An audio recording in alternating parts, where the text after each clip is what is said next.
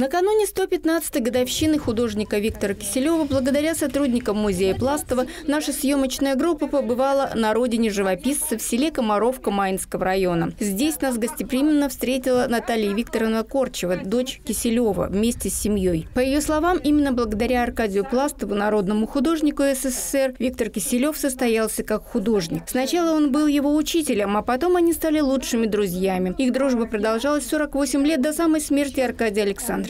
Потому что Пластов его очень ну, настаивал, чтобы он не бросал дело, потому что жили-то очень тяжело, и он знал нужду э, папину, э, что трудно учиться, он уже был папа женат. В июле 1941 года, когда у Киселева уже была семья и трое детей, его призвали на фронт. В редкие минуты затишья Киселев брался за карандаш и делал зарисовки. Последний военный год он работал в студии военных художников имени Грекова. В 1945 году Виктор Васильевич создал свое полотно по фашистским стервятникам. Эта картина подкупает своей суровой правдой. Ее копию можно увидеть в мастерской художника. Командование студии военных современных художников имени Грекова поощрила автора десятидневным отпуском домой. Этот факт личной биографии поездка в родную Комаровку лег в основу очередных полотен Киселева «Возвращение и вернулся». Копии картин тоже хранятся в мастерской. Отрывок из письма отца, где он говорит о картине «Вернулся», зачитала нам Наталья Викторовна.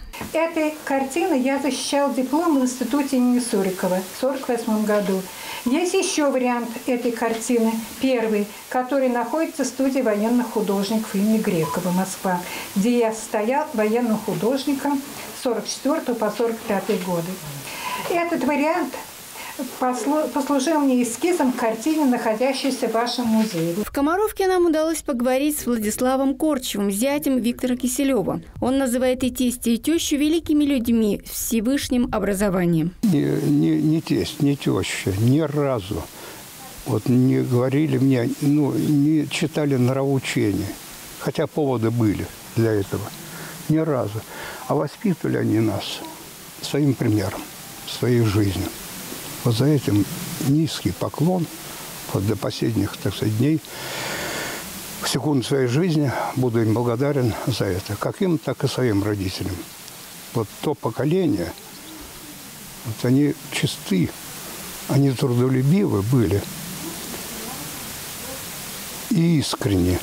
По словам Владислава, в семью Киселевых он вошел легко. Сейчас он с большой благодарностью вспоминает тестя, который научил его разбираться в живописи и видеть прекрасное. Своими воспоминаниями поделилась и внучка Виктора Киселева, Вера Корчева, пианистка Ульяновского симфонического оркестра. В детстве каждое лето, когда родители уезжали на гастроли, она жила у дедули с бабулей в Комаровке. По словам Веры Корчевой, дед всегда работал, а когда была корова, он вставал в 4 утра, чтобы выгнать корову в стадо. вот я помню самое самое мое яркое воспоминание, когда спали мы здесь в терраске, вот в том доме. Вот, дедушка а, а, идет утром, и тогда вот сказал такие интересные слова, что «Верка, вставайте, всю красоту проспите». Я подумала, в каком смысле красоту? Я подумала, красоту такую, ну, в смысле телесную, там, лица, тела, вот. Оказывается, он имел в виду, что красоту проспим то, что утром вся природа просыпается. Вы, говорит, такие, говорит, звуки такие ну, прелести природы вы, говорит, никогда в дневное и вечернее время никогда не увидите. Вера Корчева хорошо помнит, как дед писал с нее портрет. Ей тогда было 10 лет. Деду было очень сложно удержать на одном месте непоседливую внучку. И мне дедуля уже это Вер, давай, ты посидишь. Вот. А в мастерской всегда было прохладно. Я же говорю, у нас даже сейчас на улице 30 градусов, в мастерской очень свежо. Вот, и у меня, помню, ты, говорит, посидишь, вот смотри, я тебе включу пластинку. Вот одна сторона закончится в пластинке, и ты побежишь гулять, играть.